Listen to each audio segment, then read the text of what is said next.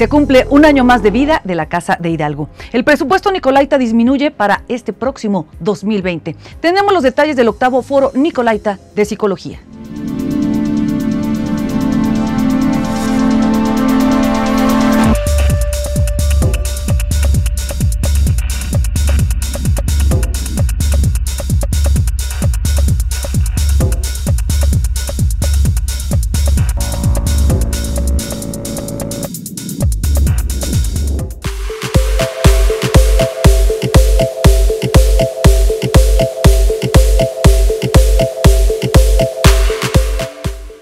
La Universidad Michoacana de San Nicolás de Hidalgo, si bien fue fundada en 1917, es la continuadora de una tradición educativa que se remonta al siglo XVI, cuando el obispo Vasco de Quiroga fundó a su vez el Real y Primitivo Colegio de San Nicolás Obispo en 1540 en la ciudad de Pátzcuaro.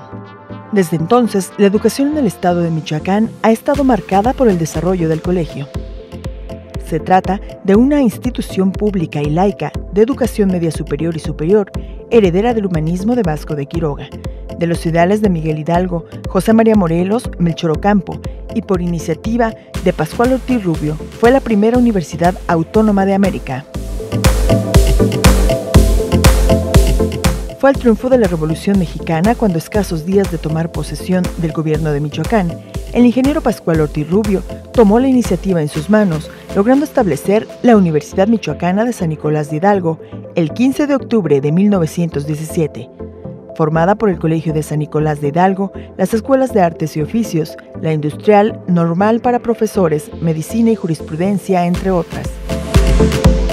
A 102 años de haberse creado, la Casa de Hidalgo es la institución con la oferta educativa y de mayor cobertura en el Estado reconocida por su calidad y pertinencia social, que forma seres competentes, cultos, participativos, con vocación democrática y con identidad nicolaita. A más de un siglo de existencia, esta universidad cuenta con más del 90% de sus programas acreditados y destaca por su trabajo de investigación con un cuadro de investigadores de la más alta calidad académica. Los programas de vinculación con universidades y centros de investigación nacionales e internacionales permiten un intenso intercambio científico, cultural y artístico, así como una gran movilidad de la comunidad universitaria. El trabajo de la máxima casa de estudios de la entidad, de la que han egresado cientos de generaciones, es reconocido a nivel nacional e internacional por sus aportaciones a las diversas áreas del conocimiento, promoviendo el desarrollo de los individuos y los grupos sociales de su entorno. A lo largo de su historia, la Universidad Michoacana de San Nicolás de Hidalgo ha tenido 47 rectores. Es por hoy una de las instituciones educativas del país del más alto prestigio y reconocida por su invaluable legado histórico y humanista.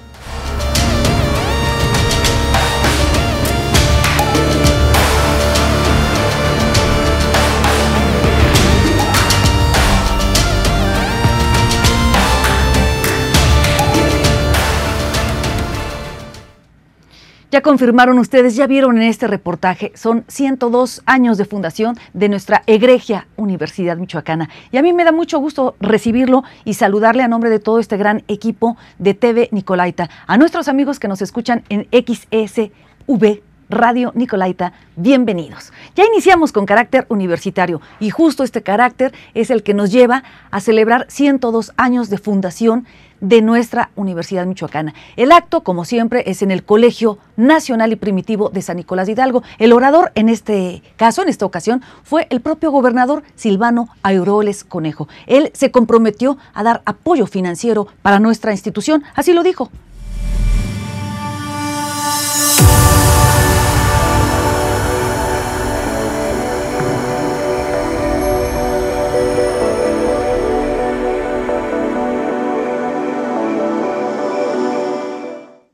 El Colegio Primitivo y Nacional de San Nicolás fue el recinto que enmarcó la celebración por el 102 aniversario de la máxima casa de estudios de la entidad.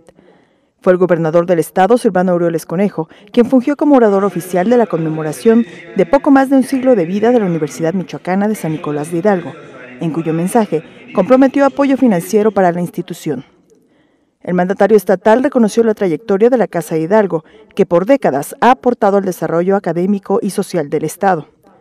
Asimismo, hizo un llamado a cerrar filas a favor de la Casa Hidalgo que demanda apoyo social y financiero para cerrar favorablemente el 2019, resaltó. Es la hora de que defendamos lo que durante siglos ha sido esta universidad, un ejemplo para México y un ejemplo para América Latina. Las michoacanas y los michoacanos podemos presumir una vez más que de esas tierras nació un modelo de país y un modelo de universidad pública autónoma.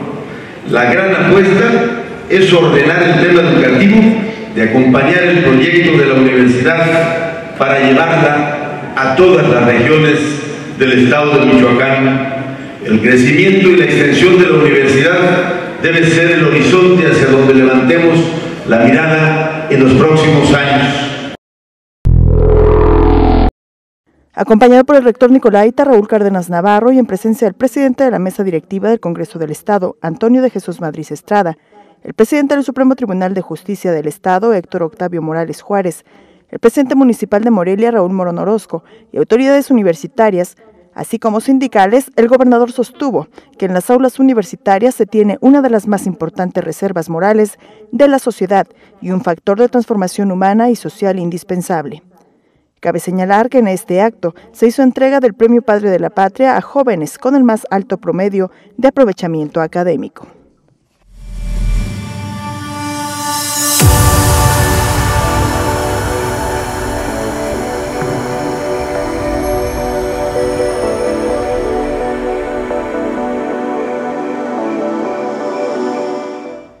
Le comento por otra parte que el coordinador de la investigación científica, Marco Antonio Landavaso, habló con los medios de comunicación sobre la convocatoria abierta para la presea doctor Ignacio Chávez Sánchez. Esta es otorgada a los estudiantes con mejor desempeño académico y es uno de los 76 programas de posgrado con los que cuenta la Casa de Hidalgo. Así lo dijo el doctor Landavaso. Es un doble reconocimiento a la memoria del doctor Chávez y eh, más puntualmente, pues a el desempeño de los estudiantes de posgrado de nuestra universidad, que como ustedes saben, eh, pues el posgrado es uno de los pilares eh, de nuestra universidad. Eh, tenemos programas de posgrado muy buenos que se han venido consolidando cada vez más, reconocidos, un gran número de posgrados reconocidos por el padrón de excelencia del CONACIT eh, y lo cual junto a otras actividades en el ámbito de la docencia, en la licenciatura y en el bachillerato, en la investigación y en la estación de la cultura, el, posgrado pues eh, aporta de manera muy importante su labor pues para posicionar a la universidad. Vamos a hacer esta pausa, tenemos mucho que ofrecerle aquí en Los Nicolaitas.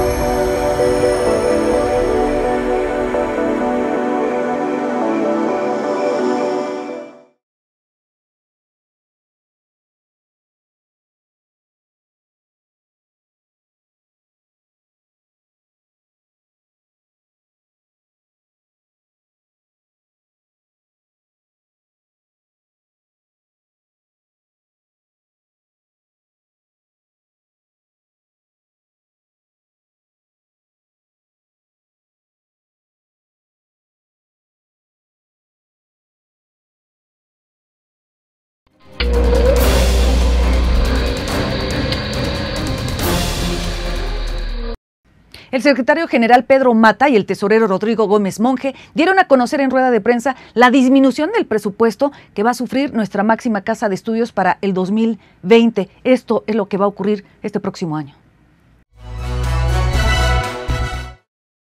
En reunión con medios de comunicación, el secretario general Nicolaita Pedro Mata Vázquez y el tesorero Rodrigo Gómez Monje dieron a conocer el presupuesto de ingresos y egresos para 2020, el cual solo registra el aumento del 4.79% con respecto a lo aprobado en el pasado ejercicio fiscal. Ambos funcionarios mencionaron que el presupuesto fue aprobado por el Consejo Universitario el pasado jueves 10 de octubre por un monto de 4.211.913.000 pesos, el cual por primera vez contempla un programa de contención, transparencia y disciplina del ejercicio presupuestal 2020, aprobado por el máximo órgano de gobierno Nicolaita así como las disposiciones generales para la administración, ejercicio y rendición de cuentas de los recursos públicos universitarios, los cuales se presentan por primera vez en la institución. El secretario general estimó que el aumento resulta menor al registrado en 2018, que fue del 5.05%, lo que refleja el manejo eficiente de las finanzas universitarias en esta administración. Señaló que el presupuesto aprobado hace visible el concepto correspondiente a los ingresos generados por las dependencias universitarias, que asciende a 144 millones de pesos, mismos que no puede destinarse ni para servicios personales ni para gastos de operación. Por su parte, Gómez Monge destacó que en materia de transparencia la Administración ha cumplido al presentar sus informes en tiempo y forma ante la Subsecretaría de Educación Superior y la Dirección General de Educación Superior Universitaria. Con los trimestrales entregados a la Comisión Permanente de Presupuesto y Control del Honorable Consejo Universitario, así como la regularización de entregas en los estados dictaminados en 2018, en la rendición de cuentas, que es la primera administración que presenta una declaración patrimonial, y en el mejoramiento de procesos de comprobación en el ejercicio de gastos. El presupuesto de egresos contempla para servicios personales, esto es para personal activo, 2.654.594.389.62 pesos. Para jubilados y pensionados, 1.024.024.617.31 pesos para gastos de operación, el cual permanece congelado durante los últimos años, una cantidad de 386.383.886.37 pesos. Los funcionarios consideraron en señalar que este presupuesto de ingresos y egresos 2020 es lo que requiere la Universidad Michoacana para su funcionamiento. Sin embargo, aclararon que no presenta el importe por concepto de subsidios y fondos federales y estatales, ordinarios y extraordinarios, en virtud de que no se conoce al momento el monto aprobado para la Universidad Michoacana. En la entrevista, Fernando Jaramillo conversa con la doctora María Elena Rivera Heredia. Van a hablar sobre el octavo Congreso Nacional de Psicología que se va a celebrar los días 23 y 24 de octubre. Aquí los detalles.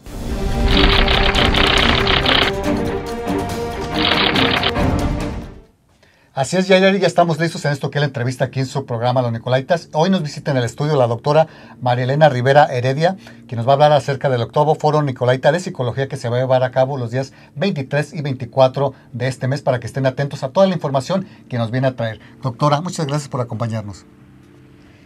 Gracias por la invitación. Al contrario, gracias por acompañarnos aquí a darnos información acerca de las actividades que que se van a llevar a cabo en la Facultad de Psicología. Coméntenos acerca de este octavo foro, ¿en qué consiste? ¿Cuáles son las metas que se persiguen con este evento?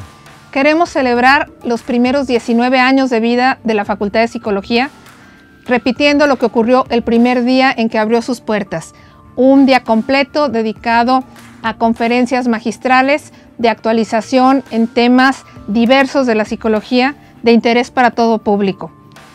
El evento va a estar centrado en responsabilidad social universitaria y en ética profesional. Y justo el miércoles 23 en el CIAC tendremos desde las 9 de la mañana hasta las 7 de la tarde de manera continua conferencias magistrales por ponentes invitados de diferentes partes de México. Al día siguiente, el jueves, en las instalaciones de la Facultad de Psicología, ofertaremos 37 talleres 20 de ellos en el turno matutino y 17 más en el turno vespertino. Junto con esas actividades académicas vamos a tener em, comida tradicional con nuestras cocineras tradicionales, tendremos también exposiciones culturales y pues una actividad de espíritu festivo celebrando estos primeros 19 años de vida. Doctora, una pregunta más. Este, ¿Quiénes pueden acceder a este foro? ¿Para quiénes está dirigido? Y los interesados que estén en él, ¿a dónde se pueden dirigir principalmente? Todo nuestro auditorio está invitado a acompañarnos a esta celebración de los 19 primeros años de vida de la facultad, aquellos que tengan interés en temas psicológicos de todos los campos de la psicología, área laboral, educativa, clínica, social y dentro de lo clínico, el enfoque eh, cognitivo-conductual, el sistémico, el humanista, em, quienes están interesados en todo lo que tiene que ver con eh, la psicología forense, el psicoanálisis. Hay actividades para todos los intereses, para todos los grupos de edad, trabajo con niños, con adolescentes, con adultos, intervención, reflexiones teóricas. Realmente es un programa sumamente rico y tiene em, un costo de 200 pesos por las conferencias del primer día y 200 pesos por cada taller. Dentro de las instalaciones de la facultad eh, hay una área donde pueden ir a pedir informes, a que se genere una orden de pago que les permita em, ir al banco y ejercer su pago bancario. Bueno, la invitación está hecha y escucharon el octavo foro Nicolaita de Psicología que se va a llevar a cabo 23 y 24 de octubre. Estarán apareciendo por ahí los eh, correos electrónicos y teléfonos para quienes estén interesados en acudir. ¿Algo que quiera agregar finalmente? Creo que es una extraordinaria actividad que estamos ofreciendo desde la Universidad Michoacana para toda la sociedad y queremos que nuestros estudiantes, nuestros exalumnos y toda la comunidad en general nos acompañe a celebrar.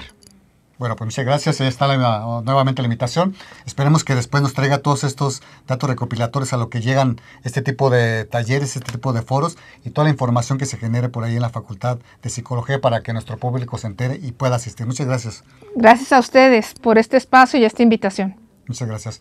Continuamos con más información aquí en su programa Los Nicolaitas.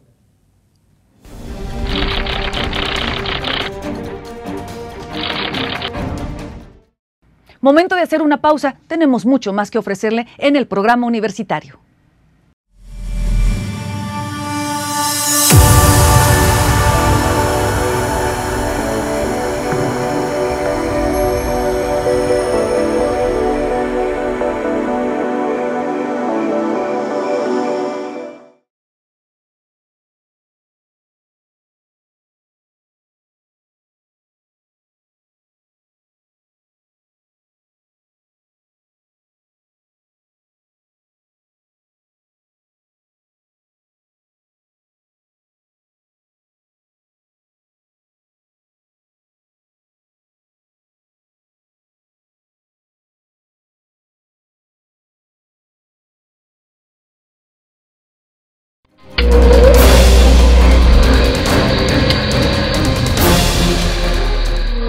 Por su parte, el Instituto de Investigaciones Económicas y Empresariales inauguró el seminario del Centro de Estudios APEC Michoacán. Aquí se dieron a conocer los resultados de los trabajos realizados a nivel internacional. Dentro de las actividades por el 18 aniversario de fundación del Instituto de Investigaciones Económicas y Empresariales, ININE, se inauguró el tercer seminario internacional del Centro de Estudios APEC ININE Michoacán. Este centro tiene como finalidad contribuir al estudio de las economías integrantes del Foro de Cooperación Económica Asia-Pacífico. El APEC ININE ha participado directamente con productores para que puedan comercializar con los principales países donde México tiene relación, como es el caso de China, Japón, Perú, Estados Unidos y Canadá, además de realizar investigaciones de campo y teóricas. La directora del APEC ININE, doctora América Ivonne Zamora Torres, señaló para los Nicolaitas que recientemente una de las investigaciones realizadas en este centro fue premiado en Hamburgo. Lo que se midió ahí fue la eficiencia del puerto de Lázaro Cárdenas. Estuvimos revisando entrada y salida de grúas, contenedores, tiempos, movimientos, etcétera, a través de un de algoritmos, hicimos un análisis de, eh, de, recursos de operaciones y demás, y a partir de ahí nosotros damos planeación estratégica al puerto para que ellos puedan mejorar sus estrategias, sus tiempos y todo. Durante el acto inaugural, el secretario académico Orepani García Rodríguez, en representación del rector Nicolaita Raúl Cárdenas Navarro, mencionó que este es un instituto icónico en la Universidad Michoacana, el cual tiene una historia de aprender y dar el ejemplo de cómo hacer las cosas diferentes y de generar una cultura de calidad. Además mencionó que es un pilar para la universidad y un orgullo su trabajo ha sido en muchos sentidos determinante para eh, poder dar luz a no solamente políticas públicas, sino detección de problemas y búsqueda de soluciones en el desarrollo de nuestro eh, Estado y del país. Por lo tanto, ese compromiso yo hoy lo celebro a este evento asistieron la coordinadora del posgrado Nicolaita, Rosa Norma del Río, la titular del ININE, Odette Virginia Delfín Ortega, y los directores de la Facultad de Economía, así como de Contaduría y Ciencias Administrativas. Le tenemos también la invitación para participar. Ya es el octavo Congreso Internacional de Migración.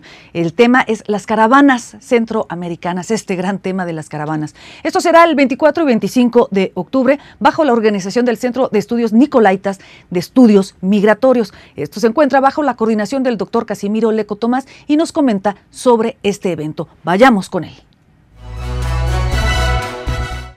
Este evento se estaría realizando el día jueves 24 eh, y viernes 25 de octubre, eh, la próxima semana, en donde eh, tendremos conferencias magistrales, ponencias, profesores investigadores de diferentes universidades, tanto de Estados Unidos como de México, y estaremos haciendo un análisis muy puntual sobre la problemática de la migración que está pasando en México de las caravanas centroamericanas y cómo esto tiene sus impactos y, sus efectos, pero también el papel que está realizando el gobierno de México en torno a esta emergencia nacional de la movilidad humana.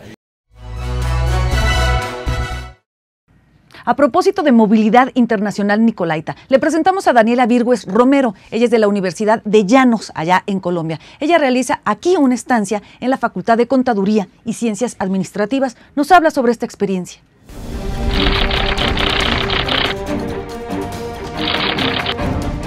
Buenos días a toda la comunidad nicolaita. Mi nombre es Daniela Virgüez y vengo de la Universidad de los Llanos de Colombia. Estudio economía y estoy en décimo semestre. Quería contarles un poco mi experiencia acá en México y en especial en la Universidad Michoacana. Puedo decirles que ha sido bastante agradable desde las personas hasta en general la infraestructura de la universidad. Las personas son bastante cálidas y son muy dadas a ayudarnos. Eh, también pues la universidad en sí es muy grande, muy bonita y siempre está llena de estudiantes, lo que hace que uno se sienta en un ambiente súper diferente. También tiene muchas zonas verdes, lo cual es bastante interesante. Puedo decirles que su ciudad, Morelia, es bastante bonita, sobre todo el centro, tiene una infraestructura bastante interesante. Em, también quiero invitarlos a que intenten hacer un intercambio o se vayan de vacaciones a Colombia. En caso del intercambio los invito a mi universidad. Eh, es, es una universidad muy bien posicionada a nivel Colombia, al igual que la Universidad Michoacana está muy bien posicionada en, en México. Puedo decirles que las clases acá han sido muy interesantes, los profesores son muy dados a, tener una pedagogía en el cual los estudiantes entienden fácilmente las temáticas y estoy muy satisfecha. Eh, quiero decirles que sí volvería a la Universidad Michoacana y sí volvería a Morelia. Eh, me llevo cosas muy interesantes desde las personas hasta la experiencia cultural como tal las personas me han abierto la mente, por decirlo así. Y a nivel cultural es bastante interesante la diferencia que hay entre colombianos y mexicanos, así como también las personalidades muchas veces son similares. Así que los invito a conocer muchas partes de Colombia, eh, su gastronomía y sus paisajes, sus playas, eh, sus montañas. Así que los espero en Colombia y cualquier duda que tengan mientras esté acá, eh, estoy para responder cualquier inquietud.